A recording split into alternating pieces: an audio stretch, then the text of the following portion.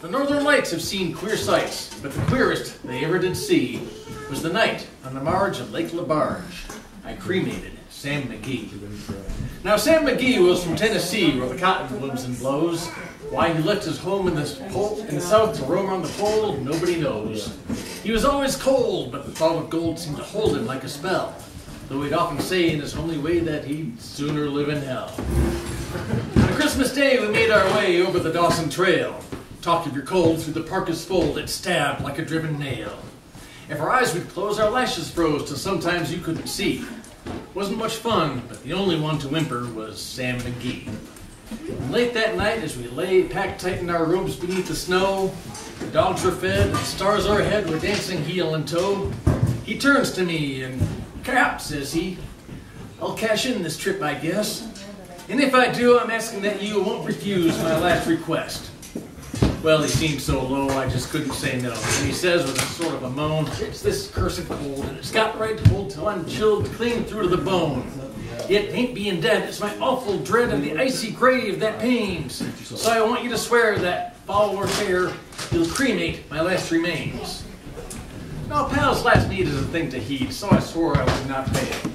We started on at the break of dawn, but God, he looked ghastly pale. He crouched in the sleigh and raved all day of his home in Tennessee. And before nightfall, the corpse was all that was left of Sam McGee.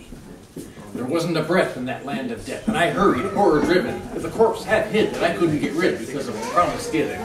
He was lashed to the sleigh, and he seemed to say, You may tax your brawn and your brains, but your promise true, and it's up to you to cremate my last remains. Now, a promise made is a debt unpaid, and the trail has its own stern code. The days to come, though my lips were numb, in my heart, how I cursed that load. Every night in the lone firelight, while huskies round in the ring howled up their woes to the hidden snows, oh God, how I loathed the thing. Every day that lifeless clay seemed to heavy and heavier grow. Down I went, though the dogs were spent and the grub was getting low. The trail was bad, and I felt half mad, with a grin.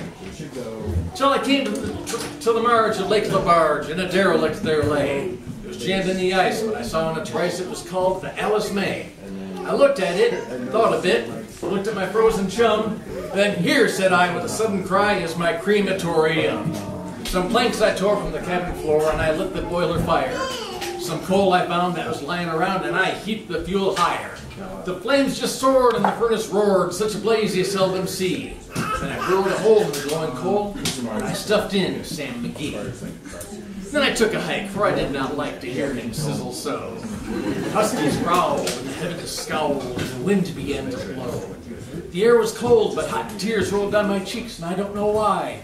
And a greasy smoke and an inky cloak came streaking through the sky. I do not know how long in the snow I wrestled with grisly fear. But the stars came out and danced about ere again I've been ventured near. I was sick with dread, but I bravely said, I'll just take a peek inside. Is that how it goes? No.